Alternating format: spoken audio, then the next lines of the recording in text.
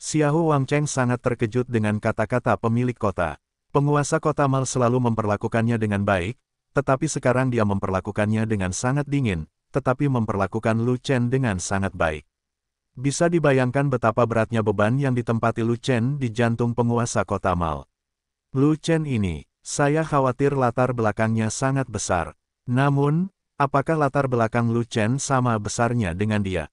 Dia tidak yakin. Xiao Wang Cheng tidak berani bicara banyak, dia dengan patuh berdiri di samping, beraninya dia menjadi sombong dan mendominasi. Sekarang, dia tampak seperti domba kecil yang jinak. Golden Steel Casting ditakdirkan untuk tidak ada hubungannya dengan sektenya, tapi tatapannya beralih dari Golden Steel Casting dan mendarat di Ying Kecantikan menawan ini ada hubungannya dengan dia, bukan? Dia sudah lama naksir wanita ini, tapi dia tidak punya kesempatan untuk menyatakan cintanya. Sekarang adalah kesempatan anugerah untuk dekat dengannya. Ying Ying seharusnya berada di sini untuk mengantarkan baja emas, dan ketika dia pergi, dia akan mengikuti. Tuan Lu, ini pengecoran baja emas Anda, terimalah. Ying Ying berjalan ke arah Lu Chen dengan piring batu giok di tangannya, paha rampingnya terlihat dari roknya, Ying Ying tenggelam dan berdoa memohon berkah. Ying Ying tersenyum seperti lesung pipit, sangat menawan, matanya yang indah menatap mata Lu Chen, seolah merindukan sesuatu dari Lu Chen. Lu Chen mengangguk sopan ke arah Ying Ying, lalu mengulurkan tangan untuk mengambil Golden Steel Casting, dan kemudian tidak melihat ke arah Ying Ying lagi, seolah-olah dia tidak memahami gayanya, tetapi juga sepertinya tidak memahami gayanya, yang mana mengejutkan Ying Ying yang centil. Ying Ying selalu bangga dengan kecantikan dan pesonanya, dia tidak pernah bisa menolak pria, baik tua maupun muda. Selama dia memutar matanya dan memperlihatkan kakinya yang panjang, banyak pria yang rela mati demi dia. Dia tidak menyangka hari ini, di depan pemuda ini, dia akan melakukan jungkir balik yang besar, bung. Ambil, Lu Chen melemparkan Golden Steel Casting ke Fei Long, yang sangat bersemangat hingga dia hampir menghilangkan semua lemak dari tubuhnya. Korban berlian sangat berharga sehingga banyak orang yang memperebutkan kepala mereka. Saya pikir Anda menggunakannya untuk diri Anda sendiri, atau menyerahkannya kepada Suantian Daozong untuk pelayanan yang berjasa. Saya tidak berharap Anda memberikannya begitu saja. Xiao Wang Cheng memandang Fei Long memegang diamond casting, dia tidak bisa menahan perasaan cemburu, dan berkata, apa gunanya kamu memberikannya kepada anak laki-laki gemuk? Mengapa kamu tidak memberikannya kepadaku? Chang Yuzong, siapa yang berhutang budi padamu? Bukankah lebih baik, apakah sekte Chang Yu Anda sangat kuat?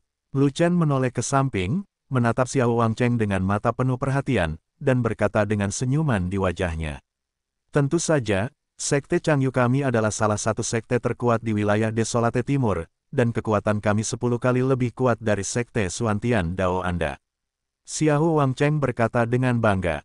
Jadi begitu, Lu Chen tiba-tiba menyadari, tapi kemudian dia menepuk bahu Fei Long dan berkata, masalahnya adalah, bocah gendut ini lebih kuat, dan dia sendiri yang bernilai 100 sekte Suantian Dao, jadi menurutku bantuan yang dia berutang padaku lebih mahal efektif.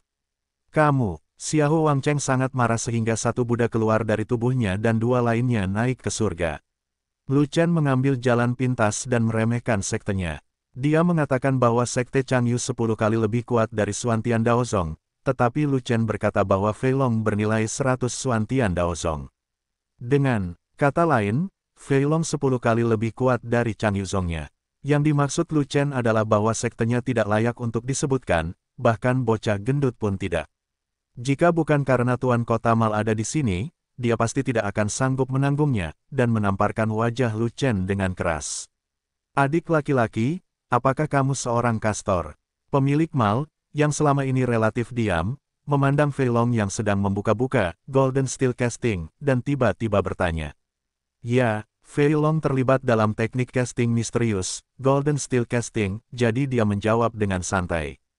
Kalau begitu, Golden Steel Casting, yang paling cocok untukmu. Kamu pasti puas dengan buku ini, kan? Pemilik Malkota menunjukkan senyuman dan bertanya lagi. Puas, sangat puas, kata Feilong. Pemilik kota Mal itu bersenandung, lalu menoleh dan menatap Lu Chen, matanya sedikit ragu-ragu dan berpikir. Bocah gemuk puas, tapi bagaimana dengan Lu Chen? Meskipun transaksi ini merupakan situasi win-win, Sang Zong mendapat untung, dan Lu Chen tidak rugi. Tapi Lu Chen memberikan barang yang paling berharga, dan satu-satunya yang dia dapatkan adalah 5 miliar koin kristal. Manfaatnya masih belum banyak. Lu Chen adalah seorang pemuda yang tak terduga. Dia memiliki banyak pengetahuan alkimia, bahkan orang bijak alkimia yang dilarang oleh sekte alkimia untuk membocorkannya. Ia harus dibungkus dengan baik dan tidak diabaikan. Entah berapa banyak pengalaman alkimia yang dimiliki Lu Chen dalam dirinya. Seandainya Lu Chen masih memiliki pengalaman sebagai orang bijak alkimia, pusat perbelanjaan akan menjadi yang pertama mendapatkan bulan, bukan? Sang Zong, dari atas ke bawah, memiliki permintaan yang besar akan pengetahuan pil sage. Ying Ying, atas nama Sang Zong, penguasa kota membuat pengecualian untuk menyebut Anda sebagai kepala balai, dan saya akan mempercayakan Anda tugas besar. Pemilik mal berpikir sejenak, lalu tiba-tiba menatap Ying Ying. Terima kasih, Tuan Kota. Ying Ying sangat gembira, dan menjawab dengan penuh semangat, tolong beritahu Tuan Kota, tidak peduli apakah Anda turun gunung pedang atau ke lautan api, Ying Ying akan menyelesaikan tugasnya. Ini adalah misi pengorbanan, kata pemilik kota mal itu. Mendengar ini, ekspresi dua orang berubah, satu adalah Duan Xin, dan yang lainnya adalah Xia Huang Cheng. Tugas pengorbanannya adalah mati. Tak perlu dikatakan lagi bahwa Xiao Wang Cheng sudah menyukai Ying Ying. Dan Duan Xin, aku diam-diam mengejar Ying Ying, tapi tidak ada orang lain yang mengetahuinya kecuali Ying Ying sendiri. Sebagai murid Sekte Sang, Ying Ying rela mati demi Sekte kita. Ying Ying terlihat sangat centil, tetapi di depan peristiwa penting Sekte tersebut, bahkan jika itu adalah kematian, dia tidak ambigu sama sekali. Mal kami ingin memberi Lu Chen hadiah, jadi kamu bisa menganggapnya sebagai hadiah ini. Begitu kata-kata pemilik kota jatuh, semua orang yang hadir tercengang. Ternyata tugas pemilik kota mall tersebut adalah memberikan Ying Ying sebagai hadiah. Ini juga merupakan tugas pengorbanan, tetapi alih-alih mengorbankan kehidupan, ini malah mengorbankan warna.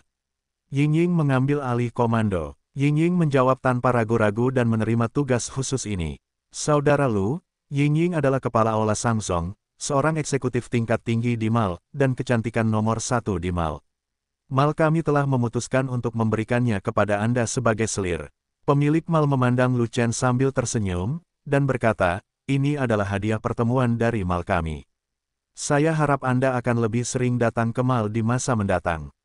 Ying Ying memberi penghormatan kepada suamiku. Senyuman Ying Ying tetap tidak berubah, dan begitu tubuh halusnya tenggelam, dia ingin membungkuk pada Lu Chenying, ipar, melihat ini, Fat Dragon tidak bisa menahan tawa. Di sisi lain, Sangguan Jin tampak seperti tidak ada hubungannya dengan itu, dan memperhatikan Lu Chen dengan tenang. Jangan panggil aku Siang Gong, jangan beribadah. Lu Chen dengan cepat mengulurkan tangannya, mencoba menghentikan Ying Ying agar tidak sujud. Namun, dia menemukan bahwa kekuatannya tidak dapat menghentikannya sama sekali, dan dia masih diberkati oleh Ying Ying. Ekspresi Lu Chen tetap sama, tetapi hatinya penuh gelombang, dan dia sangat terkejut. Ying Ying ini terlihat glamor dan menawan, namun sebenarnya dia adalah seorang seniman bela diri yang kuat, dan dia mengerahkan seluruh kekuatannya tanpa usaha apa pun. Pemilik Malkota mengatur seorang ahli seni bela diri di sisinya, apa rencananya Chen tetap terjaga, tetapi dia tidak terpesona oleh seks. Levelnya tidak tinggi, dia tidak menyembunyikan rahasia, dia belum secara resmi bergabung dengan Sekte Suantian Dao, dan tidak ada yang bisa digunakan oleh orang lain. Satu-satunya yang membuat Mal ngiler adalah pengetahuannya tentang alkimia. Penguasa kota Mal, menempatkan Ying Ying di sisinya untuk mendapatkan lebih banyak pengalaman tentang orang bijak alkimia, dan itu masuk akal. Kekayaan Sang Zong sangat besar, tetapi dia tidak memiliki alkimia tingkat tinggi untuk bersaing dengan sekte alkimia. Pengetahuan alkimia Lucen sama banyaknya dengan rambut sapi. Bahkan pengalaman alkimia tingkat tinggi memiliki lebih dari 100 salinan. Selama harga yang dibayar pihak mall bisa memuaskannya, bukan perkara sepele baginya untuk mendapatkan beberapa eksemplar lagi. Namun penguasa kota Mal tidak mengantarnya pergi, melainkan langsung mengirimkan kecantikan romantis, yang membuatnya sangat malu. Tolak, bukankah itu menamparkan wajah pemilik Mal di depan umum? Ying Ying bukanlah karakter kecil. Kepala Ola Samsung, eksekutif tingkat tinggi Mal, dan wanita tercantik di Mal akan langsung memberi Anda Lu Chen sebagai selir. Itu adalah hadiah yang menyimpang. Ini adalah perlakuan yang sangat tinggi yang diberikan oleh Mal. Hal-hal yang Anda impikan, Anda tidak menginginkan ini. Apa pun alasannya, Anda hanya memandang rendah pemilik kota, Mal, dan Sang Song. Jika Anda menginginkannya, itu bertentangan dengan keinginan Lu Chen. Lu Chen mengakui bahwa Ying Ying memang cantik, seksi dan menawan, penuh pesona, dan genit. Masalahnya adalah Lu Chen tidak menyukai wanita Feng Yue, tidak peduli apakah Ying Ying berasal dari tempat Feng Yue atau bukan, Ying Ying memiliki aura seperti itu. Lu Chen tidak menyukainya, dia hanya tidak menyukainya. Lu Chen akan berlatih seni bela diri dan bersiap untuk bergabung dengan Sekte Suan Tiandao, dengan seorang wanita romantis di sisinya, seberapa baik dia. Apalagi wanita ini masih punya tujuan, jika dia ingin berbaring di sampingnya untuk memata-matai rahasianya, dia sama sekali tidak bisa memilikinya. Saat dia berada dalam dilema, Lu Chen melihat sekeliling, dan melihat Xiao Wang Cheng menembakkan kebencian yang membara ke arahnya, dan mata bingung Duan Xin. Tiba-tiba, dia mendapat ide. Lu Chen menerima hadiah Tuan Kota sambil tersenyum. Lu Chen tertawa, dan dengan senang hati menerima hadiah dari penguasa kota Mal. Bagus, pemilik pusat perbelanjaan sangat gembira, dan akhirnya membiarkan Lu Chen mendapatkan keuntungannya. Di masa depan, Ying Ying akan berbisik di telinga Lu Chen, bisakah pengalaman alkimia Lu Chen disembunyikan? Bukankah pengalaman dan Sheng terus-menerus dijual ke Mal? Lu Chen, Ying Ying adalah wanita favoritku, apakah kamu berani membawanya pergi? Xiao Wang Hou berkata dengan muram. Xiao Wang Cheng, perhatikan kata-katamu, Ying Ying adalah hadiah dari Mal untuk Lu Chen, mulai sekarang, Ying Ying adalah orangnya Lu Chen. Pemilik Mal, kota memandang ke arah Xiao Wang Cheng dengan tidak senang, dan berkata dengan sedikit peringatan. Ya, ya, saya hanya berbicara santai, tidak ada arti lain, yakinlah, Tuan Kota. Xiao Wang Cheng langsung meninggal, bahkan tuannya harus memberikan tiga poin kepada pemilik kota Mal, jadi dia tidak berani menyinggung pemilik kota Mal di sini. Menguasai, tersenyum, gembira, dengan suara cengeng, tangan gioknya meraih lengan Lu Chen, seperti serigala yang telah lapar selama lebih dari seratus tahun, dan akan melahap domba kecil ini, Lu Chen, malam ini. Jangan panggil aku Siang Gong, panggil aku Lu Chen. Lu Chen tidak mendorong Ying Ying menjauh, tetapi meminta Ying Ying mengoreksi namanya. Yah, Ying Ying mendengarkanmu. Ying Ying berkata dengan manis, matanya yang indah menatap ke arah Duan Xin secara tidak sengaja, dan kilatan kesedihan melintas di matanya, meskipun hanya sekilas, tetapi Lu Chen memperhatikannya, bagaimana dia bisa lolos dari pandangan Lu Chen. Lu Chen menjadi semakin yakin bahwa idenya benar. Di sisi lain, dekadensi Duan Xin menghilang saat ini, dan dia memandang Ying Ying dengan berkah yang dalam, seolah lega. Melihat transformasi Duan Xin, mampu membelinya dan melepaskannya, Lu Chen diam-diam mengacungkannya. Pemilik kota, apakah Ying Ying milikku atau seseorang dari Mal? Lu Chen tiba-tiba mengajukan pertanyaan. Bagimu, tentu saja itu milikmu. Pemilik Mal kota merespons dengan cepat, karena takut Lu Chen akan menyesal karena tidak menginginkannya. Tapi melihat ke belakang, kekhawatiran ini tidak perlu, Ying Ying sangat cantik, apakah Lu Chen menginginkannya? Dia tidak akan percaya bahkan jika dia dibunuh. Belum lagi yang lain, bahkan dia ingin menikahi Ying Ying saat itu, namun ditolak oleh Ying Ying. Karena ini milikku, biarkan aku yang menanganinya, dan tidak ada yang boleh ikut campur. Kata Lu Chen, tentu, Pemilik kota Mal itu mengangguk dengan sungguh-sungguh. Ying Ying adalah milik tuan muda, jadi tentu saja dia akan membiarkan tuan muda menanganinya. Ying Ying juga tersenyum dan berkata, karena Lu Chen tidak suka dia dipanggil Siang Gong, maka dia bisa memanggil putranya, itu sama saja. Saudara Duan, aku akan memberimu hadiah. Lu Chen terkekeh, dan akhirnya menunjukkan ekor rubahnya, dan mendorong Ying Ying ke depan Duan Xin. Ketakutan, semua orang di tempat kejadian, satu dianggap satu, semuanya ketakutan. Wajah pemilik kota Mal itu agak biru, tapi segera berubah menjadi merah. Meskipun rencananya sedikit gagal, namun setengah dari keberhasilannya. Lagi pula, dengan menerima hadiah luar biasa ini, Lu Chen menerima bantuan dari Mal, dan itu sudah cukup. Adapun kepada siapa Lu Chen ingin memberikan Ying Ying, itu urusan Lu Chen, dan dia tidak bisa ikut campur. Tuan Lu, kamu, Ying Ying juga bingung, bertanya-tanya trik apa yang akan dimainkan Lu Chen.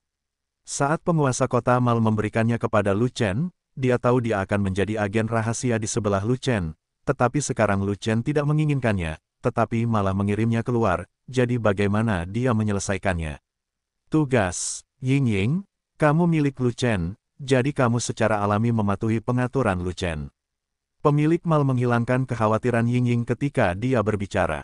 Saudara Lu, ini, ini benar-benar mustahil. Duan Xin juga panik, dia adalah seorang eksekutif tingkat tinggi di mal, dan dia tahu cara Sang Song dalam melakukan sesuatu dengan baik, jadi bagaimana mungkin dia tidak mengetahui sifat misi Ying Ying. Dia sangat menyukai Ying Ying, dan dia ingin bersama Ying Ying dalam mimpinya, tapi Ying Ying tidak menerima atau menolaknya. Sikap penolakan dan balas dendam itulah yang membuatnya ingin hidup dan mati. Suka bermain dengan wanita. Sekarang, Lu Chen tiba-tiba mengirim Ying Ying kepadanya.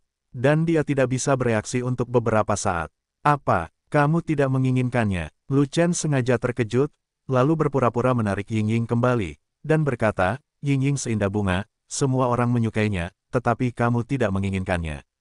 Jika kamu benar-benar tidak menginginkannya, maka aku akan mengambilnya kembali, malam ini. Tidak, aku akan pergi ke kamar pengantin bersama Ying Ying sekarang, keren sekali. Tidak, tidak, tidak, aku, aku, aku, aku menginginkannya. Duan Xin terstimulasi dan bahkan tergagap. Oke, mulai sekarang, Ying Ying bukan milikku, itu milikmu, dan kalian berdua adalah suami istri. Lu Chen tertawa, dan mendorong Ying Ying lagi. Terima kasih, Saudara Lu, Duan Xin menarik napas dalam-dalam, membetulkan pakaiannya, dan membungkuk dalam-dalam kepada Lu Chen dengan penuh semangat. Terima kasih. Ying Ying sepertinya memahami niat Lu Chen, dan mau tidak mau merasa bersyukur, jadi dia menahan senyum romantisnya, wajahnya menjadi serius, dan mengucapkan berkah kepada Lu Chen dengan cara yang serius. Del, seseorang sangat marah, Lu Chen, kamu keterlaluan, tidak apa-apa jika kamu tidak menginginkan Ying Ying, mengapa kamu memberikan Ying-Ying kesayanganku kepada orang lain? Mengapa kamu tidak bisa memberikannya kepadaku, Xiao Wang Cheng? Pemilik mal memberikan Ying-Ying kepada Lu Chen, dan Xiao Wang Cheng merasa cemas dan tidak berdaya, hampir menjadi gila. Tidak pernah terpikir olehnya bahwa Lu Chen tidak mengetahui barangnya, dan memberikan Ying-Ying kepada Duan Xin setelah berpindah tangan, dan dia benar-benar tidak dapat menahan diri. Ingin aku memberikan Ying-Ying padamu. Lu Chen memandang Xiao Wang Cheng dengan mata penuh perhatian dan idiot, dan tersenyum marah. Memikirkan, Xiao Wang Cheng mengangguk dengan cepat, dan berkata dengan tegas, jangan berikan Ying Ying kepada orang lain, berikan saja Ying Ying kepadaku, dan aku bisa memberimu hadiah yang tak terbayangkan, dan kamu bahkan bisa meminta syarat apa pun. Oh, Lu Chen terkekeh, dan dengan sengaja melirik ke arah Duan Xin dan Ying Ying, dan melihat wajah mereka berubah, dan mereka terlihat sangat khawatir karena Lu Chen benar-benar menyetujui balasan Xia Ho Wang Cheng. Bagaimana menurutmu? Lu Chen dengan bercanda bertanya kepada Duan Xin. Saudara Lu, sumber keuanganku terbatas, jadi aku tidak bisa memberimu imbalan apa pun, tapi demi persahabatan kita, tolong biarkan Ying Ying tetap di sisiku. Ying Ying adalah satu-satunya wanita yang kumiliki, menyukai. Duan Xin menarik napas dalam-dalam, tapi tidak bisa rileks. Dia masih terlihat gugup, tapi dia menyatakan cintanya di depan umum. Begitu kata-kata ini keluar, tubuh lembut Ying Ying bergetar, dan dia menatap Duan Xin dalam-dalam, kelembutan muncul di matanya yang indah. Bagaimana denganmu? Mata Lu Chen menoleh ke arah Ying Ying, dan dia dengan sengaja bertanya, semua orang menginginkan tas hadiah super milikmu ini, mengapa kamu tidak memilih salah satu, apakah kamu ingin tas itu jatuh ke tangan Duan Xin atau Xiao Wang Cheng? Awalnya jatuh ke tanganmu, kenapa kamu membuangnya? Ying Ying tidak hanya cantik, tapi dia juga orang yang baik. Dia bahkan menanyakan pertanyaan retoris seperti itu, ingin mencampuri pikiran Lu Chen. Karena tas kado super besar ini panas sekali, saya tidak bisa memegangnya. Lu Chen terkekeh, tanpa diduga berbicara seperti itu. Cuma bercanda, kamu adalah manusia, bukan? Jika Anda ingin memata-matai dewa ini, silakan datang lebih awal di lain hari, hari ini sudah terlambat. Bagaimana jika aku memilih Xiao Wang Cheng? Ying Ying sebenarnya menanyakan pertanyaan retoris seperti itu, dan tidak menjawab langsung pertanyaan Lu Chen. Ini sebenarnya bukan lampu hemat bahan bakar. Mendengar ini, wajah Duan Xin menjadi malu. Sedangkan Xiao Wang Cheng sangat senang hingga meledak. Siapa pun yang kamu pilih, aku tidak punya pendapat. Lu Chen tersenyum, dan baru saja mengatakan itu, tetapi Ying Ying sangat ketakutan hingga wajahnya menjadi pucat. Ying Ying tahu bahwa keseluruhan situasi telah diselesaikan, dan dia hanya mencoba menguji Lu Chen, tetapi dia tidak berharap Lu Chen menganggapnya serius, dia sangat ketakutan hingga dia hampir menangis. Xiao Wang Cheng sering datang ke mall, bagaimana mungkin dia tidak tahu pria seperti apa itu. Jika itu benar-benar merugikan diri sendiri, maka sudah terlambat untuk menyesal. Jika saya mengetahui hal ini, saya tidak akan mempermainkan Lu Chen. Lu Chen tidak sabar, dan pada akhirnya, akulah yang paling menderita. Ya, Xiao Wang Cheng mengepalkan tinjunya, sangat gembira, dan menangis kegirangan, saya telah menyembah banyak dewa, dan saya memiliki dewa sendiri yang memberkati saya. Bagaimanapun juga, Tuhan memperlakukan saya dengan baik, dan Ying Ying benar-benar memilih saya. Saudara Xiaohu, aku punya kabar baik untuk memberitahumu bahwa Ying Ying telah memilihmu. Lu Chen berkata pada Xiao Wang Cheng dengan penuh semangat. Yah, dia tahu barangnya, Xiao Wang Cheng menyembunyikan kegembiraannya, wajahnya serius, dan dia menunjukkan pertunjukan, seolah-olah semuanya terkendali. Ya, Anda adalah komoditas, dan orang dengan sendirinya akan mengetahui komoditas tersebut. Lu Chen tersenyum, tetapi tiba-tiba ekspresinya berubah, dan senyuman aneh muncul di sudut mulutnya. Tapi, aku punya kabar buruk lain untukmu. Berita buruk apa? Xiao Wang Cheng bertanya. Kabar buruknya, saya adalah orang yang memperhatikan integritas. Saya meludah dan memaku, dan apa yang saya katakan seperti menuangkan air, dan saya tidak bisa menariknya kembali. Kata Lu Chen, apa maksudmu? Xiao Wang Cheng punya firasat buruk. Aku bilang untuk mengirim Ying Ying ke Duan Xin, maka itu harus dikirim ke Duan Xin, dan itu tidak akan pernah diubah. Lu Chen memandang Xiao Wang Cheng sambil tersenyum, dan berkata, jadi, menghormati pilihan Ying Ying adalah satu hal, tetapi memberikannya kepadamu adalah hal lain. Bocah bau, apakah kamu bercanda? Xiao Wang Cheng tiba-tiba menyadari, dan tidak bisa menahan amarahnya. Jika kamu bermain denganmu, kamu bisa bermain denganmu, kamu tidak harus memilih tanggal. Lu Chen menjawab sambil tersenyum, dan kemudian memandang Xiao Wang Cheng dengan jijik. Xiao Mian, kamu pikir kamu memiliki alam yang tinggi dan mengamuk di mana-mana, jadi aku takut padamu. Aku akan membunuhmu. Mungkinkah memuntahkan tiga liter darah? Tidak, Xiao Wang Cheng tidak memuntahkan darah, dan dia tidak dapat berbicara, karena dia sangat marah hingga mengalami pendarahan internal. Xiao Wang Cheng mengepalkan tangannya dan mengertakkan gigi. Pada saat ini, kebenciannya pada Lu Chen meresap jauh ke dalam sumsum -sum tulangnya. Lu Chen, bajingan kecil ini, benar-benar mendekati kematian. Merebut pil binatang pertengahan tahap ke-6, merebut pengecoran baja emas dari sektenya, dan memberikan wanita yang disukainya kepada orang lain, semua yang dilakukan bajingan kecil Lu Chen ini sudah cukup untuk mati 10,000 kali. Jangan mengira ada penguasa kota yang melindungimu, jadi kamu yakin aku tidak akan berani menyentuhmu, kenapa kamu tidak keluar kota dan mencobanya? Saya jamin Anda tidak akan punya tempat untuk mati. Jika Anda menyinggung perasaan saya, Xiao Wang Cheng, anda harus memiliki kesadaran akan hidup yang singkat. Saudara Lu, kamu mengolok-olokku dan membuatku takut setengah mati. Duan Sincang menghela nafas lega, wajahnya menjadi cerah, dan kegembiraannya hilang dengan sia-sia, mekar seperti bunga krisan. Ying Ying juga terus-menerus menembak dadanya, membuat alarm palsu. Untungnya, Lu Chen sedang mempermainkannya, jika tidak, konsekuensinya akan menjadi bencana. Saudara Lu, terima kasih, Terima kasih atas pemenuhannya. Ying Ying tiba-tiba mengirimkan transmisi suara kepada Lu Chen, sebenarnya, Duan Xin dan aku sudah saling kenal sejak lama, dan kami saling mencintai. Hanya saja aku tidak bisa bersamanya karena beberapa hal di mal. Tapi aku tidak menyangka kamulah yang membuatku. Dan Duan Xin memiliki akhir yang bahagia. Kakak ipar, kamu tidak perlu mengucapkan terima kasih. Hall Master Duan dan aku adalah teman baik. Aku tahu dia sangat menyukaimu, jadi aku biarkan saja. Lu Chen menggema, tidak peduli apa, Duan Xin dan aku tidak akan pernah melupakan kebaikanmu yang luar biasa. Ying Ying menggema, saya berharap Anda semua saling menghormati sebagai tamu dan menjadi tua selamanya. Lu Chen tersenyum tipis, dan menjawab dengan ucapan selamat. Karena kakak Lu memintamu untuk menjadi suami istri, maka kamu harus menurutinya. Ini juga maksud dari mall. Pemilik mal kota memandang Duan Xin dan Ying Ying, dan berkata sambil tersenyum. Bawahan patuh, Duan Xin dan Ying Ying membungkuk bersama. Tuan kotaku memberkatimu. Segera setelah pemilik mal kota selesai berbicara, masalahnya berakhir dengan sempurna. Beringing, surat kepercayaan, Duan Xin dan Ying Ying saling berhadapan, berpegangan tangan, mengatupkan jari, dan menaburkan makanan anjing di tempat. Terutama pidato Ying Ying kepada Duan Xin membuat orang-orang merinding satu persatu, lalu jatuh ke lantai. Ah, Xiao Wang Cheng tidak tahan dengan rangsangan seperti itu, dia berteriak dengan liar, bergegas keluar dari kotak, dan memimpin murid Chang Yu lainnya melarikan diri. Kakak Lu, kapan kamu akan datang ke mal lagi? Pemilik mal terlalu malas untuk peduli pada Xiao Wang Cheng. Dia tahu bahwa Lu Chen akan pergi hari ini, dan yang dia timbang dalam hatinya adalah, apakah Lu Chen masih memiliki hati alkimia untuk dijual. Sepotong pengalaman bijak bisa membuat mal memiliki satu bijak lagi.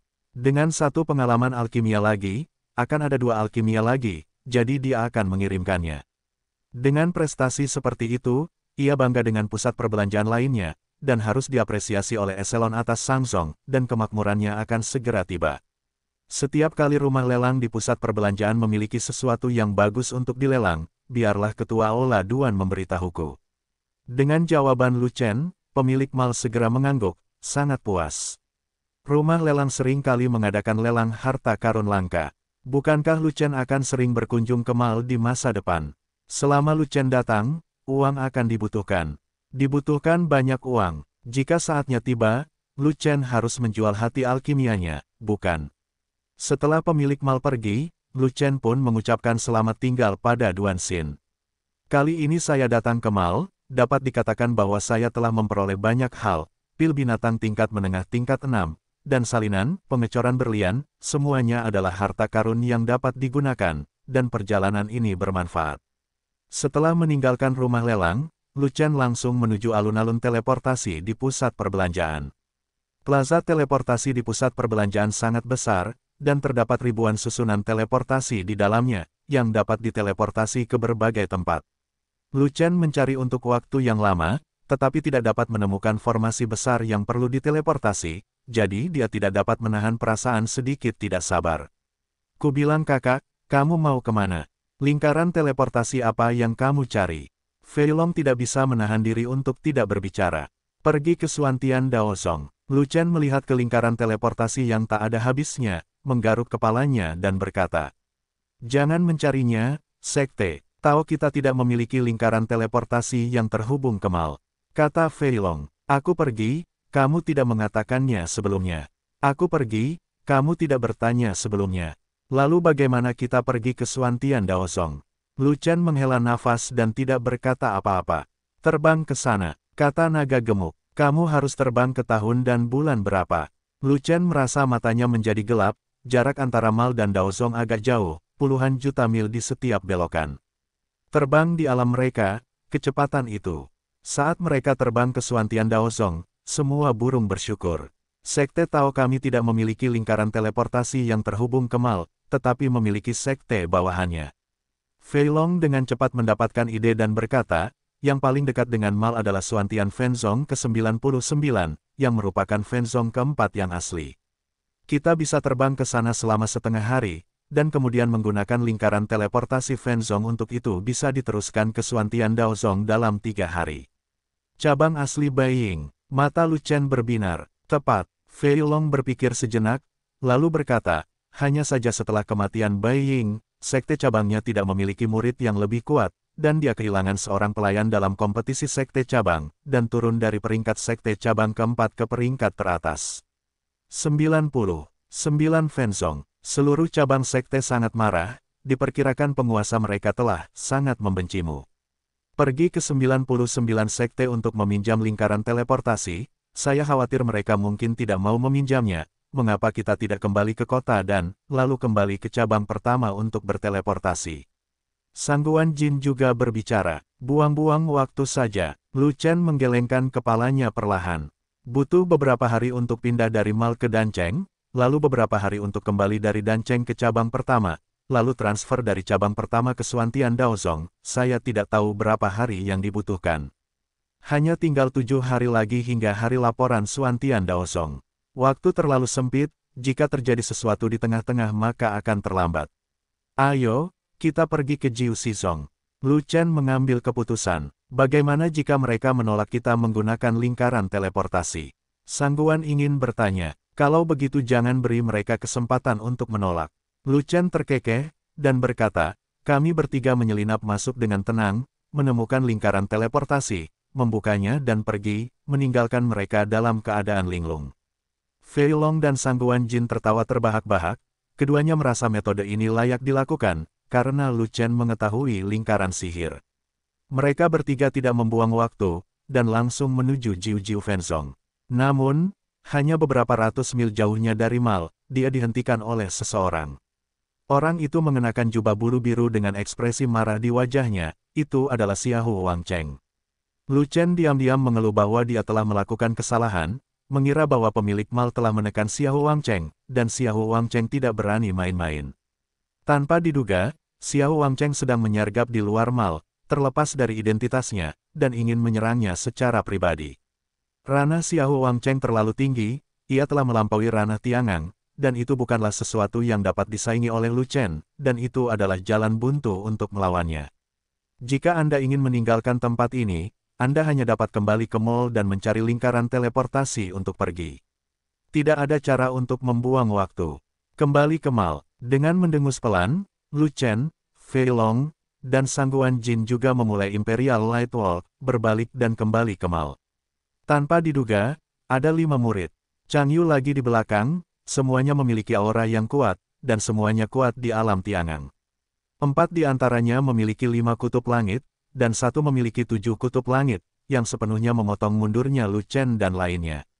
Kamu masih ingin pergi? Xiao Wang Cheng mencibir, dan berkata, beri aku pil monster tingkat menengah tingkat enam, dan letakkan pengecoran baja emas, dan aku bisa menghadiahimu dengan seluruh mayat. Semuanya diberikan kepadamu, kenapa kamu tidak membiarkan kami hidup? Fei Long berkata dengan gemetar, bisa saja, tapi dia memberikan wanitaku kepada orang lain, bagaimana aku bisa mengampuni nyawamu? Xiao Wang Cheng menunjuk ke arah Lu Chen, mengertakkan gigi dan berkata, aku tidak sabar untuk menggoreng kulitmu, merobek tulangmu, dan melahap dagingmu hidup-hidup. Siapa wanitamu? Lu Chen bertanya, beringing. Xiao Wang Cheng meraung dengan marah. Tidak, kata Lu Shen. Hah, siapa itu? Xiao Wang Cheng sedikit terkejut, tidak mengerti apa yang dimaksud Lu Chen dengan ini. Kemakmuran, kata Lu Chen. Siapa Wang Chai? Wang Cheng bahkan lebih terkejut lagi. Dasar jalang, kata Lu Chen. Kamu, kamu berani mengatakan bahwa wanitaku menyebalkan. Xiao Wang Cheng sangat marah hingga seluruh tubuhnya gemetar, napasnya meledak, dan energi sejati yang kejam mengalir keluar, mengamuk, seolah-olah saat berikutnya, dia akan mencabik-cabik Lu Chen Seng. Karena kamu anjing jantan yang menggonggong, maka pasanganmu pasti perempuan Jalang Wang Chai. Lu Chen mengangkat bahunya, membuat tujuh lubang Xiao Wang Cheng berasap. Hahaha, tegur, tegur, aku tidak keberatan kamu mengaum sebelum mati, karena kamu tidak punya kesempatan untuk memarahi jika kamu jatuh ke dunia bawah. Xiao Wang Cheng tersenyum marah, dan perlahan mendekat.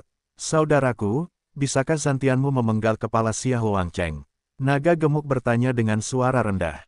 Tidak bisa, Lu Chen menjawab secara langsung.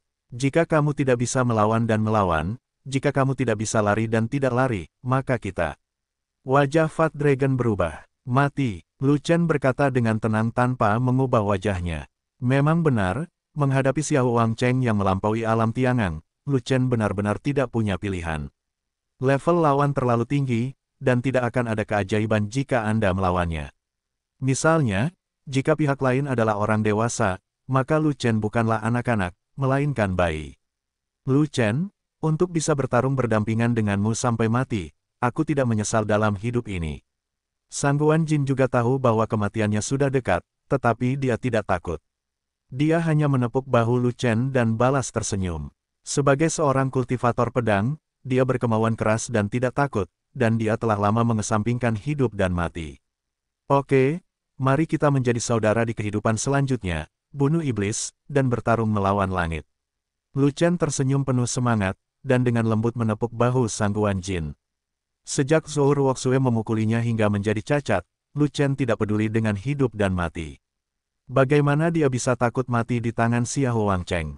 Dalam perjalanannya, saya telah mengalami hidup dan mati beberapa kali, dan saya telah menghasilkan uang sampai sekarang, jadi apakah Anda masih takut mati? Pertanyaan yang lemah, bisakah Anda menambahkan saya? Takut ditinggalkan? Fei Long bertanya dengan tergesa-gesa. Tentu, Lu Chen tertawa keras, dan menepuk bahu Fei Long dengan tangannya yang lain. Kami tiga bersaudara, bertarung sampai mati, bahkan jika sebutir telur mengenai batu, kami akan menghancurkannya sampai mati. Bagus. Fei Long dan Sangguan merasakan darah mereka mendidih dan semangat mereka tinggi. Haha, kamu hampir mati, kenapa kamu berteriak? Apakah kamu tidak terlalu takut jika berteriak? Xiao Wang Cheng perlahan mendekat, dan bertanya sambil tersenyum. Dia tidak menyerang dengan cepat, tetapi memaksa dan menembak perlahan, hanya untuk menyiksa jiwa Lu Chen, dan melihat Lu Chen dan yang lainnya ketakutan, sehingga dia akan merasa sangat bahagia dan melampiaskan kesedihan yang tak ada habisnya di dalam hatinya. Singkatnya, dia tidak akan membiarkan Lu Chen mati dengan bahagia. Tutupi langit. Fei Long mengeluarkan raungan keras, dan dengan satu pukulan pot ganda di tangannya, dia menopang dunia pertahanan.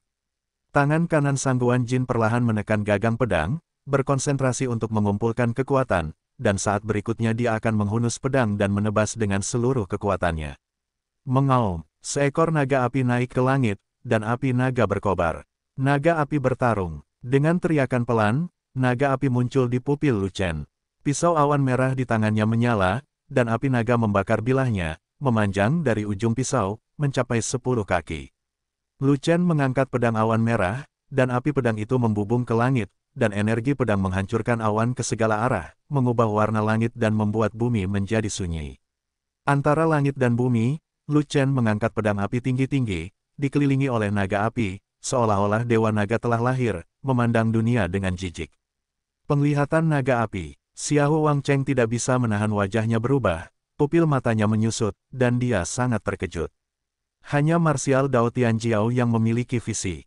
Lu Chen memiliki penglihatan naga api, yang artinya, bagaimana mungkin, aku bahkan tidak memiliki penglihatan. Bagaimana anak ini bisa memiliki penglihatan? Anak ini memiliki level yang rendah dan terlihat seperti bakat yang biasa-biasa saja.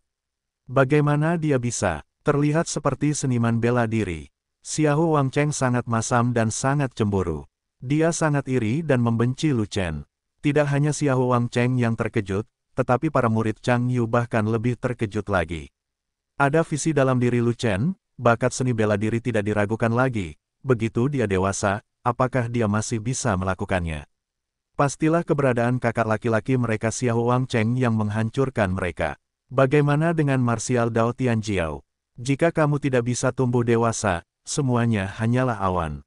Xiao Wang Cheng terkekeh, dan perlahan membuka tangannya yang besar, siap untuk meraih Lu Chen dan perlahan menghancurkannya sampai mati.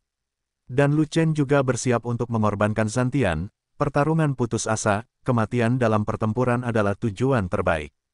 Pada saat ini, sebuah paksaan turun dari langit, menekan tubuh Xiao Wang Cheng dengan kuat, mencegah Xiao Wang Cheng bergerak.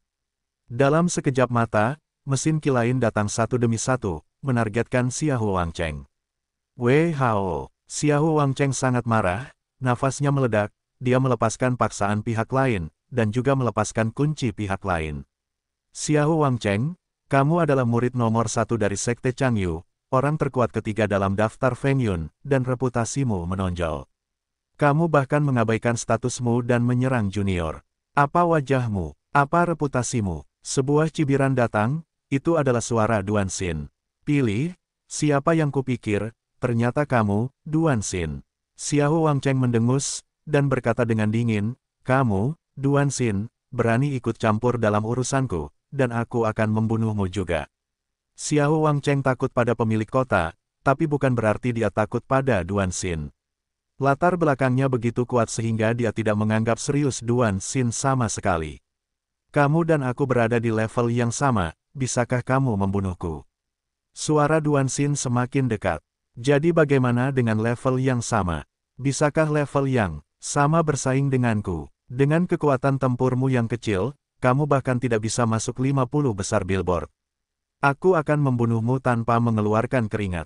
Xiao dan Wang Cheng mendengus lagi, dan berkata dengan marah, Ying Ying adalah wanita yang kusuka, kamu Duan Xin berani mengambil Ying Ying dan menaruh dendam padaku, kamu benar-benar tidak tahu bagaimana hidup atau mati, bahkan tidak berpikir tentang pergi ketika kamu datang. Saat berbicara, dua sosok datang dari langit, seorang pria dan seorang wanita, satu di depan dan satu lagi di belakang. Dalam sekejap mata, pria dan wanita itu mendarat di depan Lu Chen. Itu adalah Duan Xin dan Ying Ying. Saudara Lu, saya kira Xiao Wang Cheng akan menentang Anda. Untungnya, Anda baik-baik saja. Duan Xin memandang Lu Chen dan berkata, apa yang kamu lakukan di sini, bisakah kamu menghentikan Xiao Wang Cheng? Lu Chen tidak bisa menahan cemberutnya. Meskipun Duan Xin berada di level yang sama dengan Xiao Wang Cheng, aura Duan Xin jauh lebih lemah daripada Xiao Wang Cheng. Sekilas, dia bukanlah lawan Xiao Wang Cheng. Apakah dia datang untuk mengantarkan makanan? Saya yakin saya tidak bisa menghentikannya, tapi berbeda ketika saya bekerja sama dengan Ying Ying. Duan Xin tersenyum, dan matanya tertuju pada Ying Ying yang genit, dengan ekspresi percaya diri di matanya. Saudara Lu, kita terlambat, mohon maafkan saya. Ying Ying masih memiliki senyuman berlesung pipit di wajahnya, namun ada secerca permintaan maaf di matanya yang indah. Kakak ipar serius, Lu Chen sangat berterima kasih padamu karena bergegas membantu. Lu Chen mengangguk, matanya dipenuhi rasa terima kasih. Apa yang teman butuhkan? Duan Xin dan Ying Ying, inilah pasangan masa depan. Tinggalkan Ying Ying, aku bisa melepaskanmu. Ketika Xiao Wang Cheng melihat Ying Ying, matanya bersinar biru, dan pikiran jahat tiba-tiba muncul, jadi dia berkata begitu. Namun, tidak ada yang menyukainya. Saudara Lu, Ying Ying dan saya memblokir Xiao Wang Cheng, Anda harus segera kembali ke Mal. Kata Duan Xin, oke, tapi aku harus menemuimu kembali. Lu Chen berkata begitu, jangan khawatir, Ying Ying dan aku bergabung, Xiao dan Wang Cheng tidak bisa berbuat apa-apa terhadap kami. Duan Xin tertawa, Lalu dia dan Ying Ying berbalik dan menghadap langsung Xiao Wang Cheng. Aku membunuhmu, Ying Ying milikku. Xiao Wang Cheng menatap Duan Xin dengan wajah galak, mengungkapkan niat membunuh. Sekarang, target utamanya bukan lagi Lu Chen, tapi Duan Xin. Pikirannya sekarang penuh dengan pembunuhan Duan Xin dan penangkapan Ying Ying. Adapun konsekuensinya, dia tidak bisa mengendalikan sebanyak itu lagi. Majikannya adalah patriark dari Sekte Changyu, dan dia akan menjaganya jika terjadi sesuatu. Aku tidak menyangka Sekte Changyu, salah satu dari tiga sekte besar, akan memiliki sampah sepertimu, itu benar-benar mempermalukan sektemu. Duan Xin menuduh, orang mati tidak memenuhi syarat untuk menuduhku. Xiao Wang Cheng berteriak keras, dan segera memukul Duan Xin dengan pukulan. Hati-hati, Ying Ying menjerit pelan, aura menakutkan meletus dengan sia-sia, dan dia menepis tinju Xiao Wang Cheng dengan telapak tangannya. Aku benar-benar tidak bisa melihat bahwa kamu, yang biasanya anggun dan menawan, sebenarnya adalah pembangkit tenaga listrik yang tersembunyi. Merasakan kekuatan Ying Ying, Xiao Wang Cheng merasa sedikit bermartabat. Kekuatan Ying Ying sangat kuat, dan kekuatan tempurnya sangat kuat, pasti di atas Duan Xin. Di sinilah segalanya menjadi rumit. Duan Xin dan Ying Ying bekerja sama, jadi dia mungkin tidak bisa menjatuhkannya. Benar saja, Duan Xin dan Ying Ying bergabung, dan dia merasakan tekanannya. Xiao Wang Cheng bertarung dua lawan satu, dan tidak mendapatkan keuntungan. Bahkan jika dia bertarung dengan Duan Xin dan Ying Ying, tidak akan ada pemenang. Xiao Wang Cheng ditahan, tetapi Lu Chen dan yang lainnya masih tidak bisa pergi karena lima murid Chang Yu menghalangi jalan keluar mereka. Pikirkan tentang itu. Murid terkemuka Chang Yu memandang Lu Chen seolah-olah sedang melihat mayat. Aku akan melepaskanmu ketika kamu berubah menjadi mayat. Kami belum pernah bertemu denganmu sebelumnya, dan kami tidak memiliki keluhan. Tidak perlu bekerja keras di antara kami. Lu Chen menjawab, tetapi, jika kamu bertekad untuk menjadi anjing Xiao Wang Cheng yang tidak tahu malu, maka aku tidak akan keberatan dan mengubah kalian semua menjadi anjing mati.